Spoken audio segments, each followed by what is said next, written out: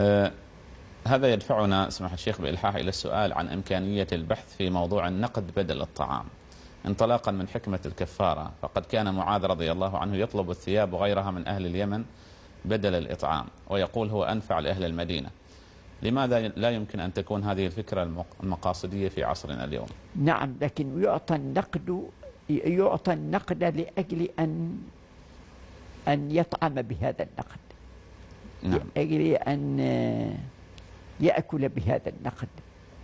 لا يعطى النقد وإنما يعطى مقدار ما يكفيه لطعامه. نعم. هذا على رأي بعض أهل العلم. نعم. طيب هل يمكن أن يقاس عليها تل تلبية لمتطلبات الحياة الأخرى كتعليم السياقة أو دفع مصاريف الدراسة أو شراء تذكرة سفر للمريض؟ مقدار ما يكفيه لطعامه. هو يتصرف من بعد كيف ما شاء. فيما بعد.